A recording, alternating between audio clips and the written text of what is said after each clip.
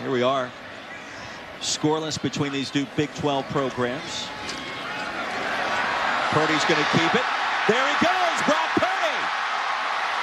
Two men to beat. Can he get there? Shoved out near the one-yard line by Merritt. It'll be first and goal after a gain of 45. First thing Gary Patterson told us yesterday when we met with him, we have to stop quarterback. Purdy's longest rush of this season. First and goal from inside the two. Play action. Wide open in the end zone. It's Chase Allen.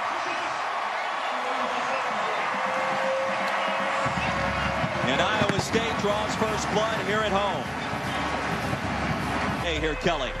Brock Purdy supplementing the run game on. After the punt of 39, Duggan takes over deep in his own territory. Backside pressure. Down he goes inside the five. Iowa State. Uwazurike scooped it up for the quick six. Rolling on the field is a fumble recovered by Iowa State and advanced for a touchdown. And Lawrence White was getting after the quarterback initially. That was picked up by the running back, and then Uwazurike ends up with the scoop and the score, but there were multiple fans. Purdy back to the air, floats one, wide open, touchdown ISU, Charlie Kolar.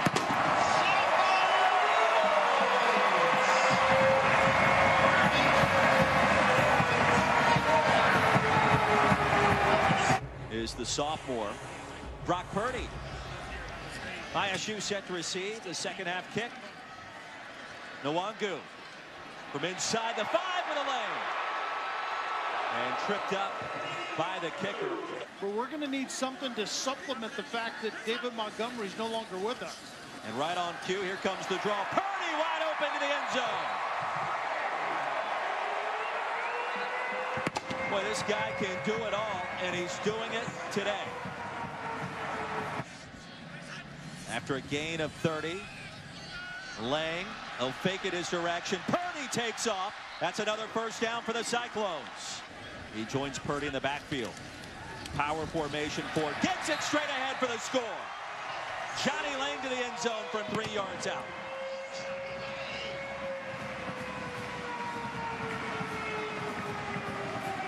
For Iowa State, trying to soft this one away. Purdy scored on this play earlier. Gets to the edge, towards the end zone for the touchdown. Little quarterback power. Brock Purdy finds a way.